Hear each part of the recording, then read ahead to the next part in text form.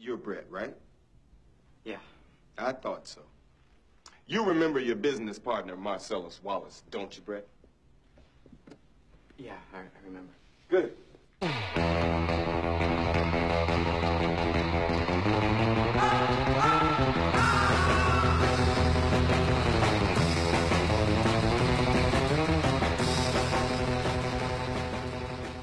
Looks like me and Vincent caught you boys at breakfast.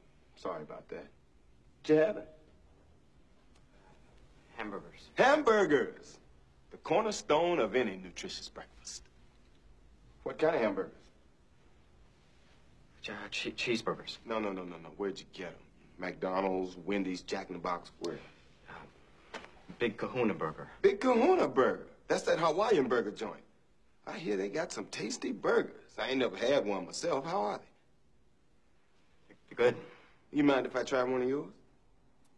Hmm This is a tasty burger. I can't usually get them because my girlfriend's a vegetarian, which pretty much makes me a vegetarian. But I do love the taste of a good burger. Mm. You know what they call a quarter pounder with cheese in France? No. Royale with cheese.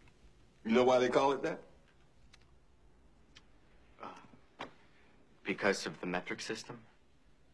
Check out the big brain on Brad.